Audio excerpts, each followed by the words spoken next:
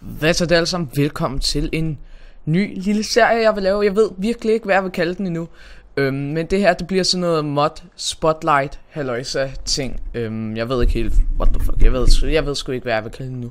Men i hvert fald, velkommen, det er den første episode, og i dag så kigger vi på Class Action 850. Og øhm, det er et virkelig fedt mod, mod. Jeg har kun haft sådan, jeg synes, jeg synes bare, det, det er bare lækkert, det her mod.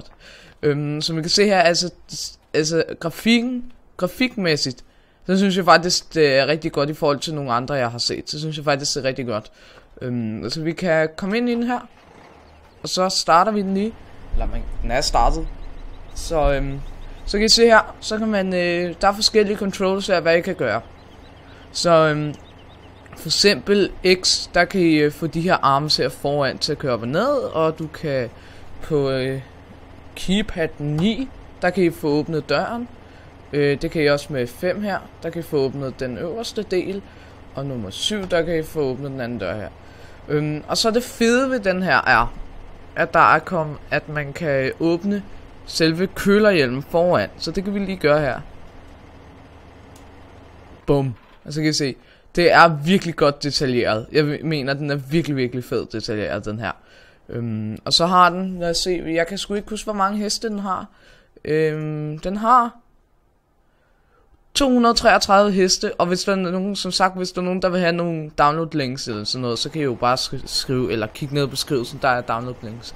Så jeg tror, vi skal ud og teste den i marken her. Øhm, hvad skal vi prøve med? Vi kan prøve med noget med at pløje, det kan vi lige prøve. Og nu skal den her top ting lige herop. Den skal lige gå ned. Nu kan jeg ikke huske hvordan. Jeg kan overhovedet kunne styre control. Sådan der. Så vi prøver skulle lige at fyre op under her. Med plov på og det hele. Og så kører vi lige herover. Og så køber vi lige den her mark, så vi lige prøve at se, hvordan den handler det. Altså indtil videre, så, altså den trækker virkelig godt nemlig. Så det er sådan rimelig nice. Så. Nå. Så skal vi bare herover og prøve deployment. Men i hvert fald, hvis der er nogen, der vil have et download link til det her mod, så please gå ned i beskrivelsen, fordi der ligger moddet nemlig. Og det er bare sådan, jeg gider nemlig ikke at have sådan nogle kommentarer til, ja, hvor er moddet henne, hvor finder jeg moddet, og hvordan downloader jeg moddet. Ja, det er flot. Find ud af det selv.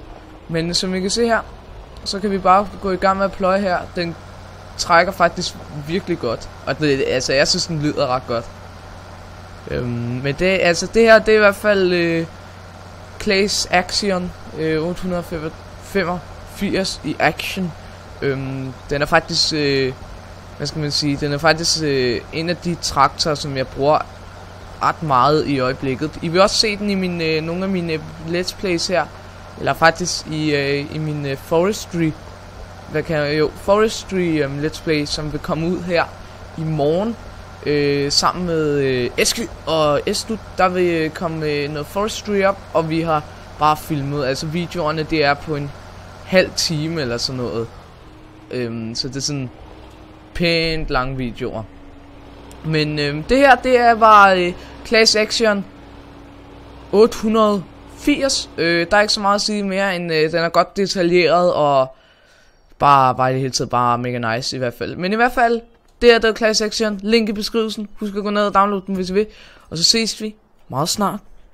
Hej hej.